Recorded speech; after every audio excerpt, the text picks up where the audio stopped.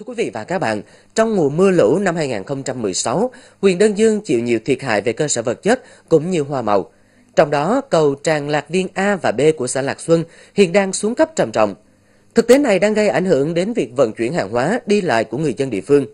Hơn hết, còn tiềm ẩn nguy cơ tai nạn cho người dân và phương tiện bất cứ lúc nào. Phản ánh của nhóm phóng viên thời sự.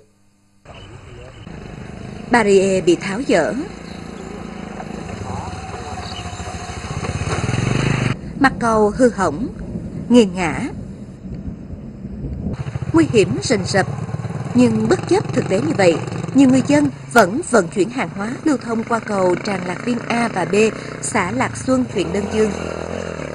Đã có nhiều vụ tai nạn xảy ra ở đây, nhưng người dân vẫn buộc phải lưu thông vì đây là tuyến đường độc đạo nối thôn Giảng Dân và các thôn đồng bào dân tộc thiểu số Nam Sông, xã Lạc Xuân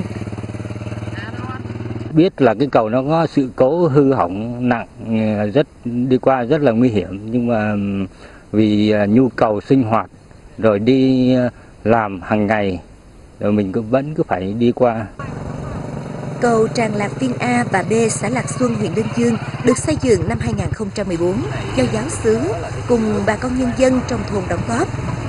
Do xả lũ từ nhà máy thủy điện Đa Nhiêm năm 2016, nên từ đó đến nay cầu tràn này đã bị xuống cấp, hư hỏng nặng.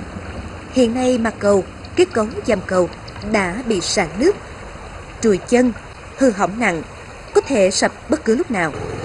Mặc dù chính quyền địa phương đã cấm biển báo, chặn barrier, nhưng nhiều hộ dân vẫn bất chấp nguy hiểm đi qua. Cái lượng xe đi lại đó thì thường xuyên là cái loại mà xe tấn tư đó một ngày á là cứ tính mức trung bình là đi lại khoảng 200 chuyến đi và về. Còn xe máy ở đấy bây giờ như là các uh, quý đài đứng đây nhìn rõ thì người ta cứ đi liên tục bây giờ cấm rồi đây người ta vẫn cứ đi. Đấy chẳng hạn như bây giờ tôi chẳng nói dấu gì bây giờ như xã này điều huyện ra quyết định vì là cấm tuyệt đối không cho đi cũng vì sợ xảy ra tính mạng của nhân dân. Nhưng mà nhân dân bức xúc thì không có lối đi cho nên là cứ dỡ ra đi. Trước thực trạng nêu trên, chính quyền xã Lạc Xuân đã nhiều lần kiến nghị để nâng cấp sửa chữa, nhưng khó khăn về kinh phí. Nên hiện nay, cầu Tràng Lạc Viên A và B xã Lạc Xuân, huyện Đơn Dương vẫn chưa thực hiện được.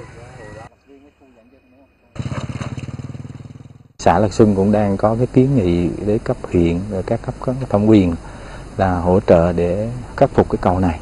Nhưng đến giờ phút này thì nói chung là chưa có khắc phục được. Thực trạng nếu mà không có giải pháp thì ở đây nó cũng rất là khó cho bà con tại chủ yếu bà con ở đây sống bằng nghề nông và đi làm mưu sinh bằng xe à, ô tô qua lại thì nó cũng rất là khó à, khi mà xả lũ hay là nước lớn. Hơn bao giờ hết, người dân ở các xã Lạc Xuân, huyện Đơn Dương đang mong mỏi sự quan tâm đầu tư của ngành chức năng tỉnh Lâm Đồng để nâng cấp, sửa chữa cầu Tràng Lạc Viên A và B, góp phần đảm bảo an toàn giao thông, phục vụ vận chuyển hàng hóa và đi lại được thuận tiện hơn.